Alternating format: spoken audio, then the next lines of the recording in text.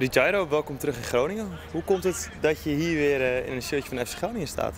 Allereerst dankjewel. Ja, uh, de competitie ligt nu stil in uh, China. Uh, wegens corona kan ik die kant niet op. Ik, mijn laatste wedstrijd was 26 juli bij Sheffield. En door deze, ook door deze transferwindow, ik wil mijn conditie op houden. Nou, ik kom vanuit Groningen. Ik ben altijd in Groningen als ik in Nederland ben. Dus vandaar de vraag aan mijn club of ik uh, mijn conditie op peil kon houden. En dat uh, werd gehonoreerd.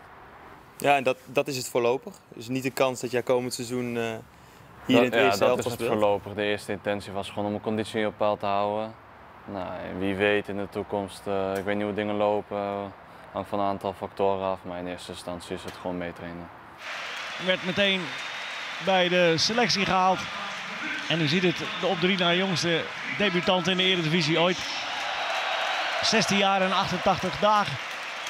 En hij vervangt Texera. Ik heb nog uh, anderhalf jaar contract in China. En ik weet niet zozeer waar ik komende maanden ga spelen. Dat klopt. Maar uh, allereerst is het gewoon de conditie op paal houden. Mooi balletje op Sivkovic. Wat kan die? Die kan veel, Sivkovic, en die scoort inderdaad. Ja, hoe gaan die contacten dan? Eh, bel jij Mark-Jan of eh, belt Mark-Jan Verderes jou? Uh,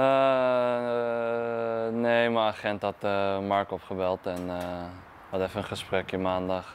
Hey, hoe, hoe, is het gegaan? Gewoon een goed gesprek en uiteindelijk waren we samen tot de conclusie gekomen dat het oké okay was om nu mee te trainen. Duel heeft hij met Arias. Daar is een prachtig doelpunt van Sivkovic.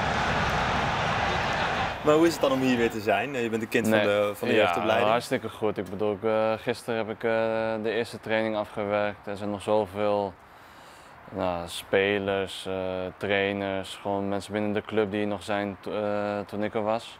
Dus dat is mooi om die weer te zien en die contacten weer te leggen. Dus ik ben hartstikke blij dat ik hier wel op het veld kan staan, dat zeker. Prachtig balletje, Sivkovic. De controle is niet helemaal goed, maar de goal is dat wel prachtige gelijkmaker van FC Groningen. Ik weet dat gewoon nog wel een spits zoekt. ja,